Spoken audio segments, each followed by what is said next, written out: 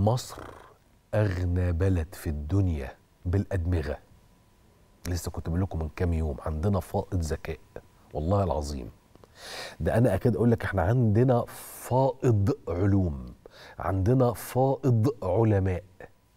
رئيس أكاديمية البحث العلمي يعلن الفائزين في التحدي الخامس على منصة بنك الابتكار لحل مشكلة عارفين ورد النيل؟ ورد النيل بتاع الأخضر ده شكله جميل جدا ظريف جدا بس ده خطر خطورة فظيعة ده بيسحب كم مية من المسطحات المائية ويضيعها علينا غير طبيعي طب هو إحنا كنا يعني موجود عندنا؟ زمان لما جه ورد النيل ما كانش موجود عندنا أصلا. لما جه ورد النيل ده كنا جايبينه بغرض التجميل والتزيين. وما كناش عارفين إن قدرته على الانتشار فظيعة للدرجة دي. مذهل رهيب. تحس وكأنه تولد بكتيري ما بيرحمش. ينتشر. فتعملت مسابقة إزاي نقدر نتخلص من ده. كم حلول مبتكرة مذهلة. مش بس كده مش للتخلص وخلاص لا. وازاي تقدر تستفيد منه بقى؟ يعني طب أنا بتخلص منه طب استفيد منه إزاي؟ الفائز بالمركز الأول دكتور أحمد علي الأستاذ بكلية الزراعة جامعة المنصورة. فائزا بالمركز الأول أظن كمان المركز الثاني الدكتور وائل محمود خير الدين مدير حاضنة الجا- الجامعة اليابانية وأستاذ مشارك بكلية هندسة التصميم الإبداع. مصر شغ... علماء والله العظيم أنا بكلمك بجد علماء في أي مجال هتلاقي عقول مصرية. طيب آه إحنا عندنا إيه كمان؟ إحنا معانا الدكتور أحمد على التليفون؟ طب كويس قوي دكتور أحمد علي الأستاذ بكلية الزراعة جامعة المنصورة والفائز بالمركز الأول. أهلا بيك يا فندم. أهلا بحضرتك الحمد لله. إزاي يوسف؟ أنا الحمد لله والشكر لله. ما دمت حضرتك بخير وعقول مصر بخير أنا سعيد. أنا شاكر لحضرتك وشاكر لحضرتك اهتمامك بالموضوع واللي طبعا آه، آه، له أهمية كبيرة جدا على المستوى القومي.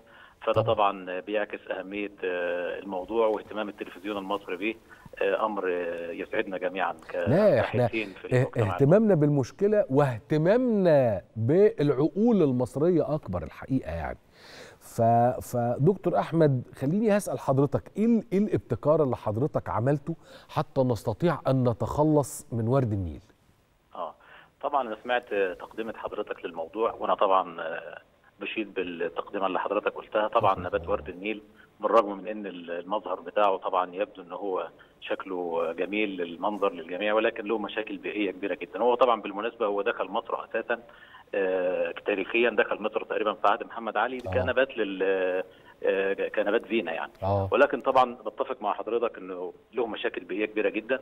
أهمها طبعا استنزاف الميه له طبعا النبات ده بيستنزف كميات كبيرة جدا من الميه والعلماء بيقولوا تقريبا إن إحنا بنستنزف يعني نبات ورد النيل بيتم استنزاف ما يقارب 3 مليار متر مكعب من حصة مصر المائية. يعني مم. تخيل حضرتك إحنا ال- ال- الحصة المائية لمصر طبعا تعتبر محدودة هي 55.5 مليار متر مكعب. يعني 6% بيروح. بالتأكيد بالظبط كده. فاحنا لما بنتكلم في في المشكلة دي بنجد إن هو طبعا بيستنزف كميات كبيرة جدا من المية. لو دخلنا في وتبنينا مصطلح اللي إحنا بنتكلم عليه اللي هو ال virtual water فاحنا ممكن نقول إن إن المية اللي بت- بتهدر دي لو قدرنا إن إحنا نحافظ عليها آه، بمبدأ إن إحنا نعيد استخدام المية دي. في حاجات تانية إحنا ممكن نستصلح بيها كميات كبيرة جدا من من الأراضي. وممكن مثلا على سبيل المثال بإن إحنا نوفر الكمية دي ممكن نزرع حوالي مليون آه، فدان من القمح فبالتالي ال- ال- المشكلة بتاعت ال- الاستنزاف الكبير للمية باستخدام نبات عن طريق نبات ورد النيل إن إحنا نتخلص منه أو ن- أو نقضي عليه ده هيكون حل مناسب جدا لإن إحنا نتوسع في مشاريع استصلاح الأراضي. طبعا ال- المشكلة مش بتقتصر بس على استهلاك المية هو طبعا بيعمل إعاقة كبيرة جدا للمجاري ال- المائية. وبالتالي بيهدد أيضا حركة الملاحة في نهر النيل بالإضافة طبعا إلى إنه بيعمل مشاكل كبيرة في عملية الري وفي عملية آه، الحركة بتاعة المية.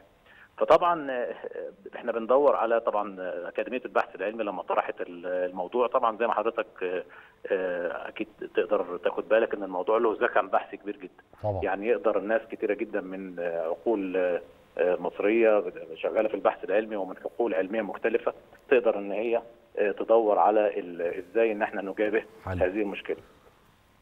فطبعا في طرق كتيرة جدا للتخلص من نبات ورد النيل في طرق طبعا التقليديه اللي هي الطرق العادية اللي كانت دايما بتستخدم عن طريق استخدام آه، آلات. ميكانيكية زي آه. الكراكات بالظبط بس تقدر حضرتك تاخد بالك إن الكراكات دي ال- الاستهلاك بتاعها كبير جدا من الوقود أضف لذلك هي نفسها ما بتتخلصش من كمية كبيرة من المية لأن طبعا من ورد النيل لأن تقريبا ورد النيل كله على بعضه مية تقريبا مم.